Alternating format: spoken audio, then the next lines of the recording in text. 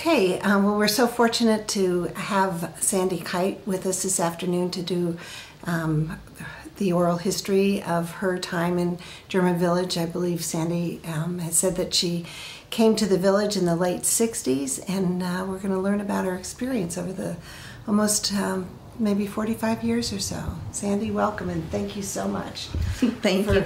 for um, participating with us. I often wonder how it happened that I so quickly got so old to be considered someone to tell of the history in German Village. Uh, yeah, I, I came to German Village in the late 60s and I lived in the Double, which is on 3rd Street across from the Schwartz Castle. That was my first solo apartment. And the Schwartz Castle, can you tell us what that was? At the time, the Schwartz Castle was um, actually more of a rooming house or boarding house than anything else. Um, it uh, was habitated by some interesting characters. One in particular I recall was a Greyhound bus driver. And the And, photographers here. okay, remember Hallie as a runner. Um, it was habitated by, uh, as I said, several different kinds of interesting characters. And um, the rooms inside were individually padlocked on the doors. Wow. When the um, roomers would leave, they would lock the outside of the door with the padlock, and when they would be home, they would lock the inside of the door with a padlock. I recall when my parents first came to visit me, and I was very anxious and excited to um, show them my apartment. And they came from Chicago, which is where I grew up, and parked their car in front of the double. And my father got out of the car and stood in the middle of Third Street and turned around and around and around and looked at the Schwartz Castle and the people who were sitting there and blurted out loudly, My God, girl, what did you do? Move into Skid Row or something? well, that deflated me a little bit. But nevertheless, um, following that period of time, uh, two gentlemen, Bob Geese and Bob Eckel, purchased the Schwartz Castle and uh, did renovation. And ever since then, it has remained a very nice um, marker for entering German Village. Um, and can you give just a little description of what the Schwartz Castle looked like then and what as compared to what it looks like now? Well, at that time, um, there was um, a gas station on the corner instead of the large commercial building which stands there now. And so there, the gas station being a very low, single kind of uh, building, um, allowed Schwartz Castle to be very showy in its architecture. So it was, um, it had a lot more character that was visible at that time than we can now see of the castle. And so um, you were describing how the um, the Schwartz Castle had had its grand sort of grand stature when you first moved in, but um, changed by the people who were living there at the time. And it sort of sent your folks into awe as to where where had you moved. Um, Yes. And can you think remember exactly what year that was that you came? I think it was 1966, perhaps. I don't know. I don't remember exactly, but that's pretty close. Um, at the time, I was still single, and um, some girlfriends and I would gather at our apartment because another friend, another girlfriend, lived in the other half of the double, and um, it was a popular thing to do at that time. Uh, to subscribe to Gourmet Magazine and try out all of those exotic, wonderful recipes. So we would have our little dinner parties on weekends, and uh, the castle always fascinated us. And I remember um, a few times we had had our dinner and a little bit of wine, and so we were getting a little bit feisty, and um, it started some kind of a ritual for us in years thereafter because we would draw straws, and the person with the short straw would have to run across the street, run into Schwartz Castle, run all the way up to the top floor, go to the window and wave to the rest of us downstairs, run all the way back down and get home safely. Well, that's a great story. And how long did you live in that apartment there on Third Street? Until 1972. Uh, and at that time, I bought a small house on the corner of Alexander and Purdy Alley. It was a house that had just been uh, renovated by Bob Geese, who was someone in the village who he was one of the first to do any number of renovations. Um, and I lived next door to a very grand lady. Her name was Sensi Staley, and she was the child of German immigrants. And she went to St. Mary's School at the time that St. Mary's was taught in German, and all of their textbooks were German. So Sensi had a bit of a German accent, and she was quite a character and had quite a sense of humor.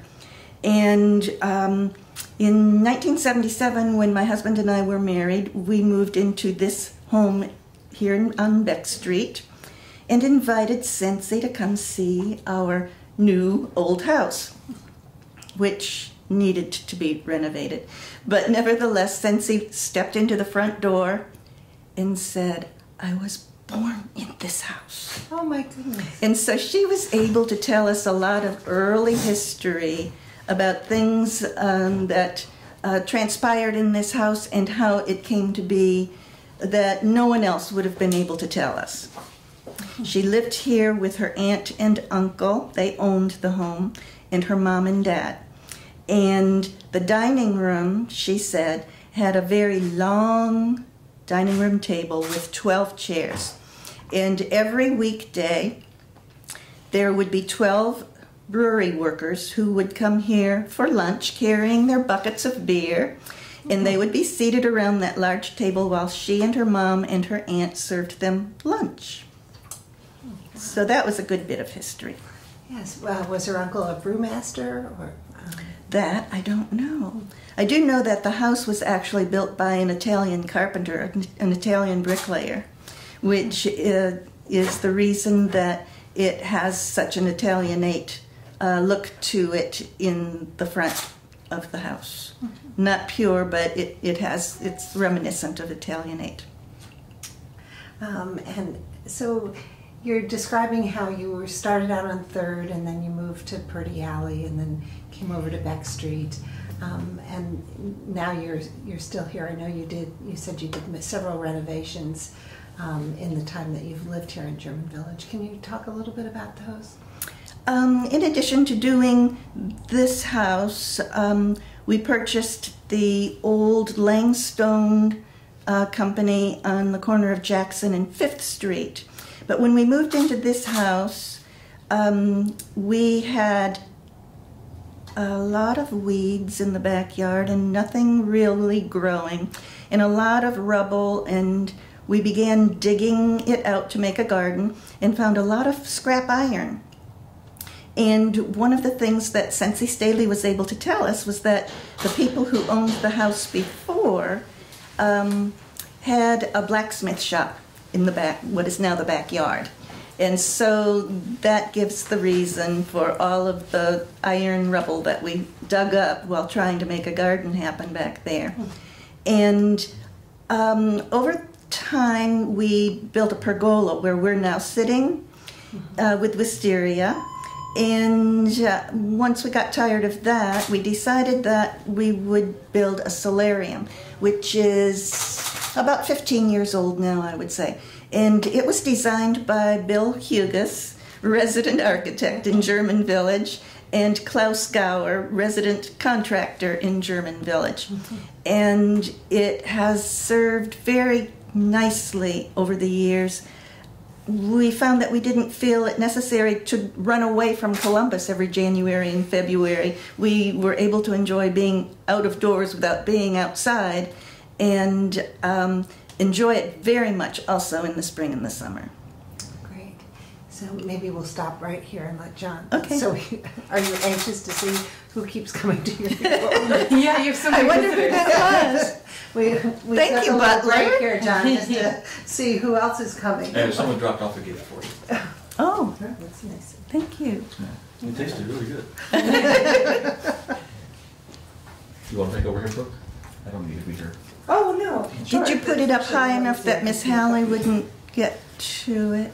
Pardon? Did you put the gift, if it's edible, up high? I, I really don't know if it's edible, but it's up. It's up. Thank you, It's in there. because she once ate a gift of um, ganache chocolate and had to be rushed Oh, to no. emergency right away. Yeah, chocolate's not good for puppies. Is it okay if I pet her? Sure. Okay, um, so you were describing uh, the renovations that you did here at the house and, and about the iron artifacts that you found out uh, back. Are there any that you ended up keeping and using in different in your art or? Um, there's one piece that's in our front garden in the summertime, and it uh, looks like it would have been sort of like a finial kind of object on an iron fence or something like that. But I'm sure that a lot of the iron fencing that exists today in German Village might have had its birth right here in the backyard in that blacksmith shop. So you live in a black in a former blacksmith shop, um, or at least it was out back, and then you bought a building that belonged to Lang Stone. Um, can you talk a little bit about about that building?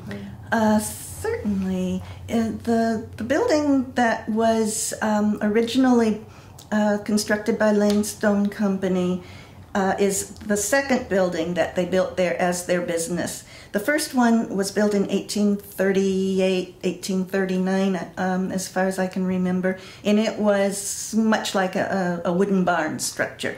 And the parking lot that exists now um, was the dumping grounds for all of the slabs of stone that they would have brought in. Sometime in the 1930s, that building burned down, and in its place, they built a cinder block building. It's a single room, windows on all four sides, and it's actually cinder cinder block. It's not the, the current type of cement block that we know to be but it serves perfectly as my art studio because of having the windows on all four sides. The light is just great. It's not very large, it's about 20 feet by 25 feet in size, so I can't take too many things in there. I have to um, use my space wisely. So um, I can do small prints with a small etching press in there and paint and do my uh, jewelry from recycled materials there and my clothing from recycled fabrics there. And it suits me quite nicely. In the summertime, we have farm market there. We've had it for 14, 15 years in the parking lot every Saturday morning. And um, it's kind of a nice gathering spot on the weekend for the German villagers to come and get produce that is grown without any chemicals added. And that is done by farmer John Falk and his partner Clint Beardsley. Clint Beardsley is the owner of uh, Metroscape Horticultural Landscape Services, and he uh, designed the property here on the Beck Street house as well as the gardens at the studio space on Jackson and Fifth, and has maintained them uh, ever since. Um, so, in coming to German Village in the late 60s, can you think about, um, and you've already mentioned a number of changes that have occurred, can you, can you think about some other changes that um, have occurred over the time that you've been here? Well, definitely, when I first came here, there was no sense of community whatsoever. It took uh, Frank Fetch and Fred and Howard and loads of other people like Phil and Shirley Keats and my uh, former neighbor Dorothy Fisher and her husband Ralph, who lived next to the double um, across from Schwartz Castle. There was no sense of community at all, and over the years it evolved with a great de- deal of volunteerism. And of course, the German Village Society today depends greatly upon uh, volunteerism to keep our society going and to keep our village um, growing more and more as a closely knit community. Yeah, so you were here during the early days of the German Village Society. What memories do you have of that? We um, we had an art league well, we've had more than one art league over the years. Um, artists tend to be pretty loose organizers, and so they don't hold things together very well. And so um, one art league after another has come and gone over the years. But our first art league was a small group of people, and it was not only visual artists, it included uh, writers, poets, um, musicians. Dorothy Fisher was um, a poet who was a member. Phil Keats was a painter who was a member. Um, Mary, Mary Kay and John Carter are musicians. They were members. And after a while, it became um, obvious that none of us really wanted to take on the responsibility of planning everything, organizing everything, installing all of our shows, and and creating the social events to bring people out to see our work and, and experience our work. So we decided that rather than um, falling apart grudgingly, we would celebrate the end of our time together. And so we had a bonfire in the backyard of what was at the time the German Village Society meeting house. It's now the home of um, Tom and Nancy Gross. Um, we had a bonfire in the back, and we each contributed something to keep the bonfire going. I threw in an, a canvas that I considered to be a failure. Um, Dorothy read a poem that she could never get quite together and threw that into the fire, and so on and so forth. Mary, Mary Kay and John threw in a score that they could never quite get to work right, and then afterwards, of course, being um, true blue German villagers, we went inside and celebrated with a bottle of wine. That's a great story. And you said that the uh, Art League has been reincarnated a couple of times. That's right. Um, what memories do you have of those other times? Well, the second time we reached out a little bit into the um, contiguous areas and into Marion Village and Schumacher Place and so forth, and tried to make our numbers grow a bit. And um, indeed, it made it more interesting. We met new people. Our monthly meetings of critiquing each other's work were quite successful, but again, no one was quite willing to keep the ball rolling. And so it fell apart just kind of like, oh, fading away. And there's a current art league that um, actually Ryan Orweiler started up some years ago. I'm guessing maybe five years ago, I could be wrong. And it still is in existence today. As a matter of fact, there's a show going right now at the German Village Meeting House of um, members' work. And I think this time around, uh, it looks like it's going to make it. Oh, good. And it is, um, is it limited uh, to artists now to um, It's visual artists. Visual artists. So it's changed over the years in, in that regard. Yes. Oh, great. One of the things that uh, we had discussed earlier was about Third Street and how it's changed over the years. And I wonder if you have some recollections of how you've seen that changed. Next to the double where I first lived um, is a commercial building. And in that building, there was an antiques shop called Mrs. Thompson's Antique Shop. And it lasted for quite a while. I'm guessing that it's only been maybe eight or ten years since that closed down after her death. But one of the fun things that I recall about that shop was that um, every Easter season, she would bring out her antique collection, vintage collection of hats, Easter bonnets, and filled the windows with um, with her collection of Easter bonnets. And uh, people would just stand around for, for a long time, just admiring those hats and how they were made. And uh, of course, it was an attraction to go into her store, so that was helpful to her too. A lot of German village homes have things that have been exchanged from one house to the other via Mrs. Thompson's antique shop.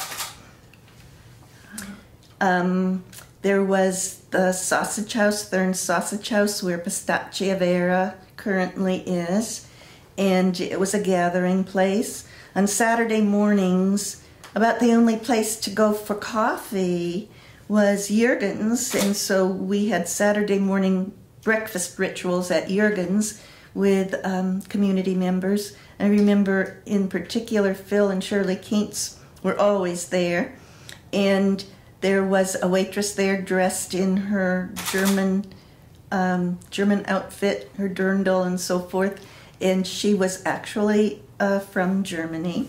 And she pretty much told us what we wanted to eat for breakfast each Saturday. That's great. Ilga was her name. Uh, so you're describing how the community was evolving, um, developing a, a sense of community from um, gatherings uh, it, with the art league and on Saturday mornings. Um, you you described how you've ha- hosted or um, the uh, farmers market on Saturday mornings for you said 14 15 years now Um, at your art studio and uh, what other changes in community building have you seen over time? Um, a lot of the homes have, uh, I've been happy to watch a lot of the homes being renovated. And um, we have more residents than we had. It was mainly renters at the time that I came. And it has been fun to watch people come and see the different the different ways they they envision to renovate the homes. And of course, as we well know, a lot of the homes are a lot more contemporary than one would imagine looking from the outside because um, people have, um, well, they gut kitchens now and put in the granite, and the formica is gone, and the asphalt tiles are gone.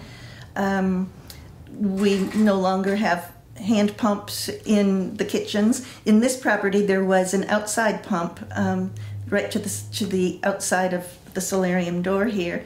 Um, I imagine that the, the residents pumped their water from there and brought it inside, and all those kinds of changes have happened very gradually over the years. Uh, a lot of wonderful changes in the outside of design of the yards also while retaining the beauty of the old wrought iron but a lot of contemporary things happening in the yard. Swimming pools outdoor kitchens these days uh, something that no one would ever have imagined uh, could happen in german village. Actually it's surprising to some people to know how many swimming pools there are in these small german village yards Uh, and so home ownership versus renting was instrumental in some of those changes. Um, that people investing Yes. Um, uh, do you re? I can't quite remember when 70, 71 came in um, to Columbus, but I, if I remember correctly, it was in the 60s. Um, were you here when that impacted uh, travel to German Village? Actually, that happened um, shortly before I moved to German Village. However, I do remember before I 70, I 71 existed here because I uh, came to Columbus to, as a beginning teacher at Starling Junior High School on the west side in Franklinton. And I would um, get school buses to transport my art students to the area because there was the old Mohawk um, outdoor market. And it was a very colorful kind of environment for art students to draw and paint from. Um, the the outdoor bins of fruits and vegetables stacked beautifully in patterns, and uh, the children were very fascinated by the chickens hanging by their necks or their feet. I don't remember how it was. And oh my goodness, what what are those things? Pug, pigs' knuckles. Oh my, that just blew their minds. And so there was a lot of um, visual information for them to use for their ideas in their drawings and paintings. So that was my experience well before I moved into German Village. Um, and I, what drew you here in the first place?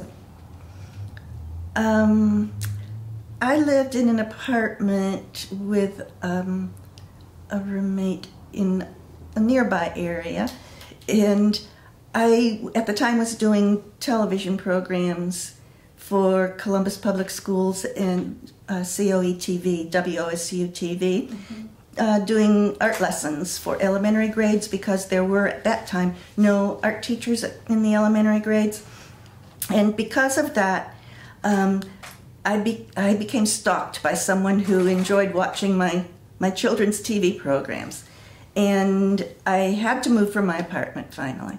And I, I just found this double in the classified ads, and I thought that would be really great because it would be closer to the Board of Education building downtown. So I moved into this double, and um, come to find out, I moved just a couple blocks away from where the stalker lived. Oh, So it was a it was a long and involved story, but I stayed and um, have been happily ever after here, and I hope to stay here forever. oh great.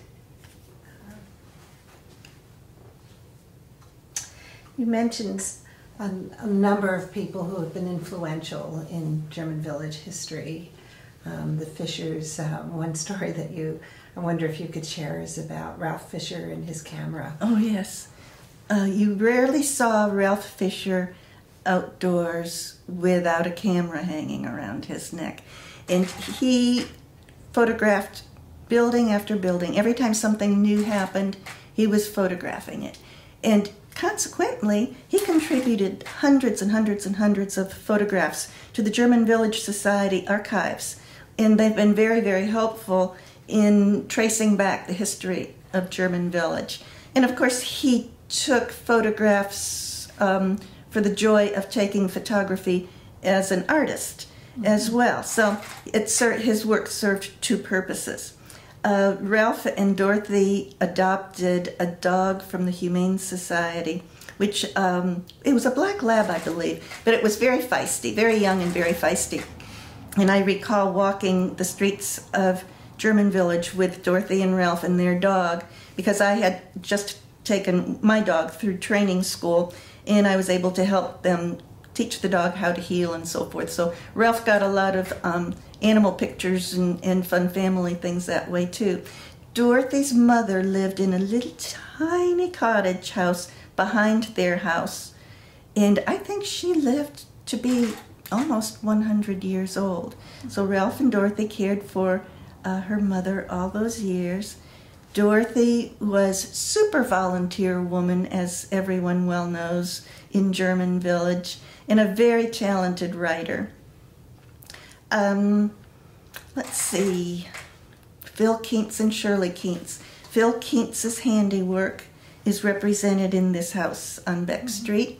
He built um, the first brick sidewalk in our backyard, and he redesigned the brick wall that was around the, the pergola space that I spoke of before. He um, installed the two windows that are in the living room on the east wall. It was a solid wall when we moved in, and the house was rather dark as a result. Uh, the people who owned the house before us had installed a, a leaded beveled glass transom above the double front doors. And so Phil Keats and Mr. Helft from Franklin Art Glass and I designed windows to be installed on that east wall uh, to repeat um, the visual essence of the the beveled leaded glass win- transom window above our front doors.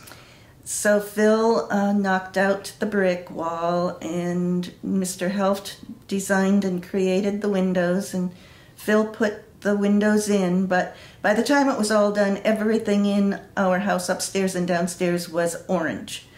Orange from the orange brick dust. Our pillowcases were orange when I first came home from work that first day. But it, it turned out to be well worth the um, well worth the grief that cleaning up uh, was caused. Also, when we renovated uh, in the early 80s, um, the two bathrooms and um, partially the kitchen, it was done while my husband and I were both still working full time. And the contractor at the time tore out both bathrooms before realizing that the ceramic tile that was ordered for them was someplace between Denmark and here floating around on the ocean in a boat and they didn't know where it was or how long it would take for it to come. So my husband and I had to go every morning to the athletic club downtown to shower and get ready for work each day. And that went on for several weeks. So that that grew tiresome after a while. but it's one of the kinds of things that happens when you cannot afford to do all of the renovation before you move in and you have to live through the renovation. Um, you mentioned um, Fred and Howard before, and I know you have uh, great memories of them with the barrel races down Third Street. I wonder if you could talk about that a little bit. they were characters. They always tried to keep us busy and um, always tried to think of ways to bring us together a little bit more closely. And they designed a barrel race. And they, I don't know where they acquired all of these humongous wooden barrels, wine barrels. But uh, Beck Street goes downward, declines somewhat toward, from Mohawk Street toward 3rd Street. And so they chose that as the site for the barrel race. And um, guys got inside the barrels and other guys rolled the barrels. However, they didn't take into consideration the fact that the bricks are laid in the street in a curve so as to make the water run off to the curbs and drain away. So the barrels constantly bumped into the curbs, and so they were constantly straightening up and trying again. No barrels made it all the way to 3rd Street in that race that day, and some very sore and and hot and tired uh, guys crawled out of those barrels at the end of the race. But it was a lot of fun, and people were cheering, and and um, it it just was one of those kinds of things that yep, you knew that was a Fred and a Howard design. and they planted a tree once in a pothole to try to get the attention of the city to come to German Village and fix the potholes in the street. It took a long time to get bricks laid instead of asphalt filling the potholes. And over the years, our wonderful brick streets have been repaired quite um, conscientiously by the city.